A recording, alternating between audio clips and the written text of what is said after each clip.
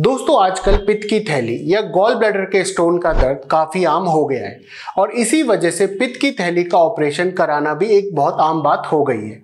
पर क्या आप जानते हैं कि पित्त की थैली या गॉल ब्लैडर में पथरी होती क्यों है? इस तरह की पथरी के लक्षण क्या होते हैं? और क्यों आजकल सब में ये पथरी होने लगी है? इसके लिए सबसे बेस्ट ऑपरेशन कौन सा है?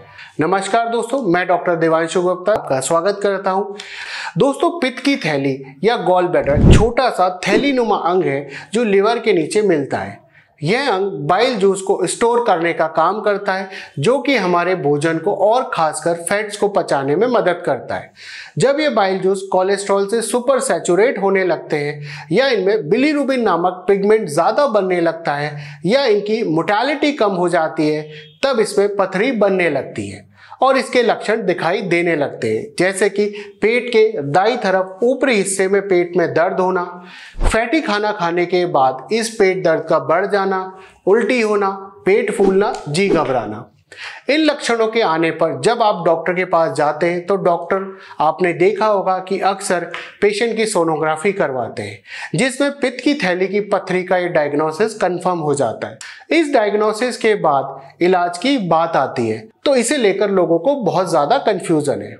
दोस्तों, मैं आपको आज यहाँ बिल्कुल क्लियर कर देता हूँ कि इस परेशानी का इलाज सिर्फ़ और सिर्फ़ ऑपरेशन है। दवाओं से इसका इलाज संभव नहीं है।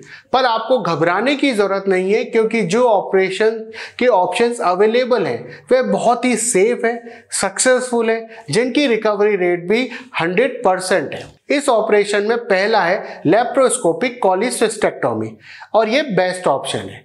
लेप्रोस्कोपिक कॉलिसिस्टेक्टोमी, यानी दूरबीन द्वारा किया जाने वाला पित्त की थाली का ऑपरेशन, जिसे शॉर्ट में लोग लैप कोली भी कह देते हैं। इस ऑपरेशन की खास बात यह है कि बहुत ही छोटे चीरे से यह ऑपरेशन किया जाता है। इसलिए इसे मिनिमल एक्सेस सर्जरी या की होल सर्जरी भी कहा जाता है। इस ऑपरेशन में छोटे चीरे लगते हैं। इसलिए ऑपरेशन के बाद में दर्द भी कम होता है और इस वजह से मरीज़ की रिकवरी भी फास्ट होती है। यानी मरीज़ बहुत जल्दी अपनी सामान्य दिनचर्या में लौट पाता है और अपने काम पर भी जल्दी लौट जाता है। काम से छुट्टी कम लेनी पड़ती है। इसलिए इस तकनीक को बेस्ट माना गया है। इस ऑपरेशन के लिए पहले आपके कुछ ब्लड टेस्ट कराए जाते हैं और अनेस्थेटिक द्वारा प्री अनेस्थेटिक चेकअप कराया जाता है और ये देखा जाता है कि आप सर्जरी के लिए फिट हैं या नहीं। आपको ऑपरेशन वाले दिन खाली पेट आना होता है यानी आपको कम से कम छः घंटे तक खाली पेट यानी बिना कुछ खाए पिए हॉस्पिटल बुलाया जाता है। यह ऑपरेशन जनरल अनेस्थीजिया यानी पूरी बेहोशी में किया जाता है। बेहोश करने के बाद सर्जन आपके पेट पर आधे इंच के तीन से चार छोटे छोटे चीरे लगाते हैं जिससे दूरबीन सर्जरी में इस्तेमाल होने वाले उपकरण और कैमरा पेट में डाले जाते हैं। इनमें से एक चीरा नाभि के पास लगाया जाता है। फिर सबसे पहले पेट में कार्बन डाइऑक्साइड या CO2 गैस पेट में भरी जाती है, जिससे पेट फूलता है और दूरबीनी उपकरणों को काम करने के लिए एक जगह मिल जाती है। इसके बाद ये सभी उपकरण और कैमरा पेट के अंदर डालकर ऑपरेशन शुरू किया जाता है। सर्जन का एक असिस्टेंट कैमरा ऑपरेट करता है और ये कैमरा पेट के अंदर का दृश्य बाहर लगे टीवी या मॉनिटर पर सर्जन को दिखाता है।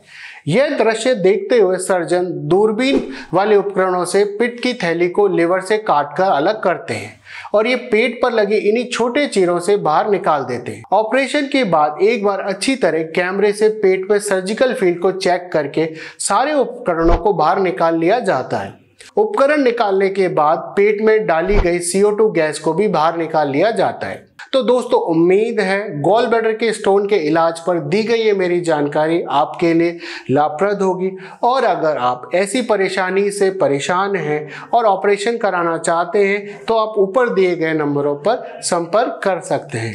दोस्तों, इसके अलावा अगर आप किसी अन्य बीमारी से पीड़ित हैं और हमारे एक्सपर्ट डॉक्टर से कॉन्टैक्ट करना चाहते हैं, उसके लिए भी आप इसी नंबर पर संपर्क करें। और हेल्थ और मेडिकल से related useful authentic reliable information के लिए कृपया हमारे यूट्यूब चैनल सब्सक्राइब करें, स्वस्थ रहें, सुरक्षित रहें, धन्यवाद।